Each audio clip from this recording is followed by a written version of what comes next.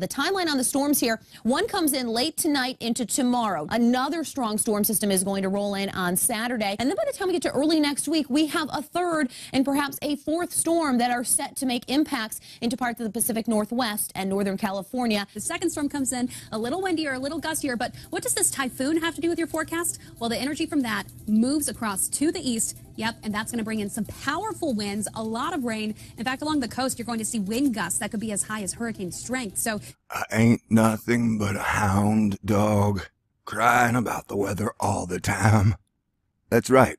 The East Coast last week and weekend got pounded by Mother Nature and Hurricane Matthew and is still undergoing severe damage and flooding. And now, West Coast, it is your turn.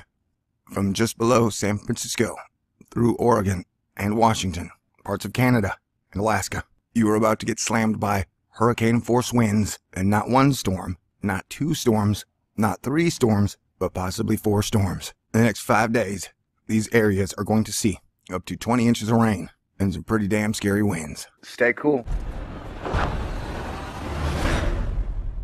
This is a Thor News presentation.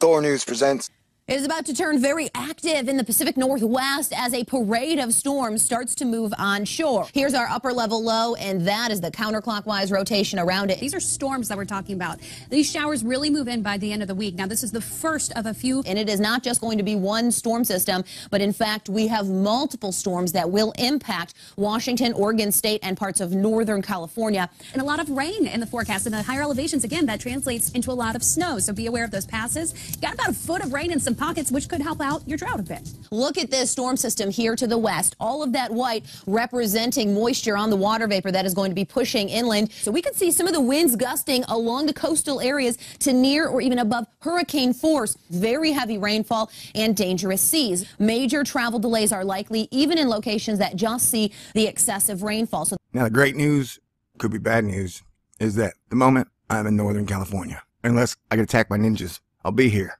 giving you a personal weather share. Don't laugh. Trust me, there's always a chance I can get attacked by ninjas, man. This is called Thor News, and there are always villains out to get me. So, the Atlantic's freaking out, we got the Pacific freaking out, and we got a lot of weird weather in store. Like we're looking at the water vapor loop, we're gonna use yellow so it can stand out. It's weird that it kind of cuts off, but hey. So this is all water vapor and water, and it almost looks like an atmospheric river.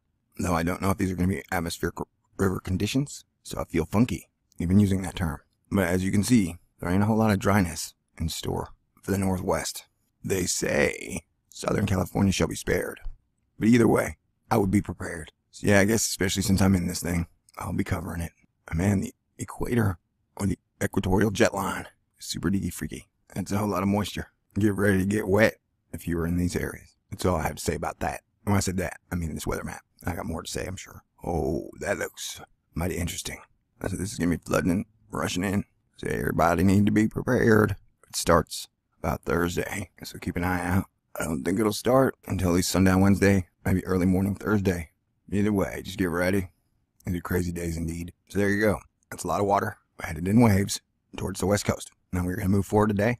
This is the 13th projection total cloud water. And if you're new to Thor News and you've come for the weather, be warned. I'm kind of weird. I usually cover outer space stuff, space weather, but I started covering weather because it saves lives. And luckily, because I'm a super genius, I'm good at whatever I put my mind to. So I'm bringing these weather warnings to you. Do with it what you may. This is tomorrow. As you can see tomorrow, Washington, Oregon will start to get hit. And that is the 14th, which is Friday. Looks like San Francisco will be getting pounded.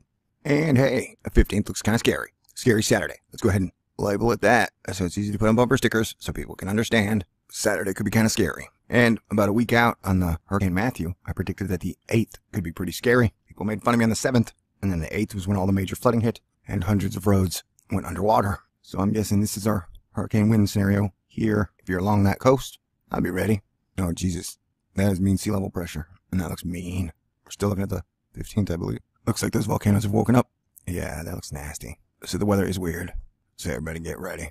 And I'll in on the sun for you. Peace out.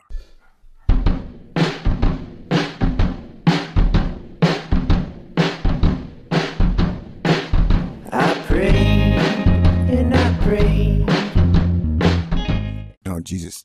That is mean sea level pressure. And that looks mean. The timeline on the storms here, one comes in late tonight into tomorrow. Another strong storm system is going to roll in on Saturday. And then by the time we get to early next week, we have a third and perhaps a fourth storm that are set to make impacts into parts of the Pacific Northwest and Northern California. The second storm comes in a little windier, a little gustier, but what does this typhoon have to do with your forecast? Well, the energy from that moves across to the east Yep, and that's going to bring in some powerful winds, a lot of rain. In fact, along the coast, you're going to see wind gusts that could be as high as hurricane strength. So, I ain't nothing but a hound dog crying about the weather all the time. That's right. Either way, just get ready. These are crazy days indeed. So there you go. That's a lot of water headed in waves towards the west coast. Now we're going to move forward today. This is the 13th projection total cloud water. And if you're new to Thor News and you've come for the weather, be warned. I'm kind of weird. I usually cover outer space stuff, space weather. But I started covering weather because it saves lives, and luckily, because I'm a super genius, I'm good at whatever I put my mind to. So I'm bringing these weather warnings to you, and do with it what you may. This is tomorrow. As you can see tomorrow, Washington, Oregon will start to get hit, and that is the 14th, which is Friday. Looks like San Francisco will be getting pounded. And hey, the 15th looks kind of scary. Scary Saturday. Let's go ahead and label it that so it's easy to put on bumper stickers so people can understand. Saturday could be kind of scary. And about a week out on the Hurricane Matthew, I predicted that the 8th could be pretty scary. People made fun of me on the 7th. And then the 8th was when all the major rain in the forecast. And the higher elevations, again, that translates into a lot of snow. So be aware of those passes. Got about a foot of rain in some pockets, which could help out your drought a bit. Look at this storm system here to the west. All of that white representing moisture on the water vapor that is going to be pushing inland. So we could see some of the winds gusting along the coastal areas to near or even above hurricane force. Very heavy rainfall and dangerous seas. Major travel delays are likely, even in locations that just see the excessive rainfall. So now, the great news, could be bad news, is that the moment I'm in Northern California. Unless I get attacked by ninjas, I'll be here, giving you a personal weather share. Don't laugh. Trust me, there's always a chance I can get attacked by ninjas, man. This is called Thor News, and there are always villains out to get me. So, the Atlantic's freaking out, we got the Pacific freaking out, and we got a lot of weird weather in store. Like we're looking at the water vapor loop, we're gonna use yellow so it can stand out. It's weird that it kind of cuts off, but hey. So this is all water vapor and water, and it almost looks like an atmospheric river. Though I don't know if these are going to be atmospheric river conditions, so I feel funky even using that term. But as you can see, there ain't a whole lot of dryness in store for the Northwest. They say Southern California shall be spared. But either way, I would be prepared. So yeah, I guess especially since I'm in this thing, I'll be covering it. Man, the equator or the equatorial jet line is super diggy freaky. That's a whole lot of moisture. Get ready to get wet if you were in these areas. That's all I have to say about that. When I said that, I mean this weather map. I got more to say, I'm sure. Oh, that looks mighty interesting. This is gonna be flooding and rushing in. So everybody need to be prepared. It starts about Thursday, so keep an eye out. I don't think it'll start until at least sundown Wednesday, maybe early morning Thursday, through Oregon and Washington, parts of Canada and Alaska. You are about to get slammed by hurricane force winds, and not one storm, not two storms, not three storms, but possibly four storms. In the next five days, these areas are going to see up to 20 inches of rain and some pretty damn scary winds. Stay cool.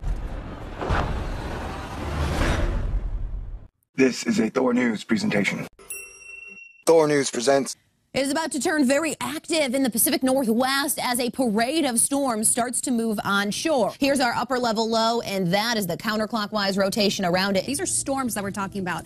These showers really move in by the end of the week. Now, this is the first of a few. And it is not just going to be one storm system, but in fact, we have multiple storms that will impact Washington, Oregon State, and parts of Northern California. And a lot of the timeline on the storms here, one comes in late tonight into tomorrow. Another strong storm system is going to roll in on Saturday. And then by the time we get to early next week, we have a third and perhaps a fourth storm that are set to make impacts into parts of the Pacific Northwest and Northern California. The second storm comes in a little windier, a little gustier, but what does this typhoon have to do with your forecast? Well, the energy from that moves across to the east Yep, and that's going to bring in some powerful winds, a lot of rain. In fact, along the coast, you're going to see wind gusts that could be as high as hurricane strength. So, I ain't nothing but a hound dog crying about the weather all the time. That's right. The East Coast last week and weekend got pounded by Mother Nature and Hurricane Matthew and is still undergoing severe damage and flooding. And now, West Coast, it is your turn. From just below San Francisco